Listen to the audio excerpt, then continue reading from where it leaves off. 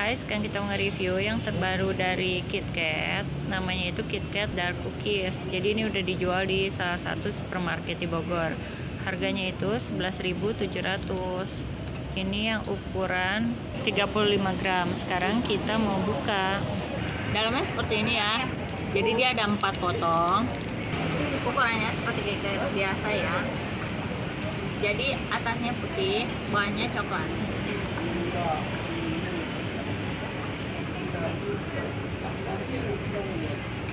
crunchy manis berasa coklat.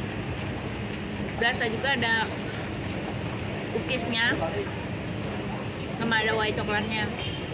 Enak. Nanti kalau kamu nyobain kamu bisa coba cari di supermarket yang ada di sekitar kamu. Mungkin udah pada jual.